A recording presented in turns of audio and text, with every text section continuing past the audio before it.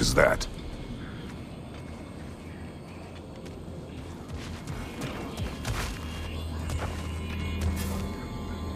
Looks like someone left you a party favor. Oh, and it's a symbolic totem of your shame. That's so thoughtful.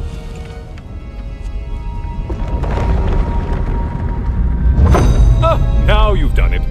You're being judged. And we all know your past actions wouldn't pass muster with anybody.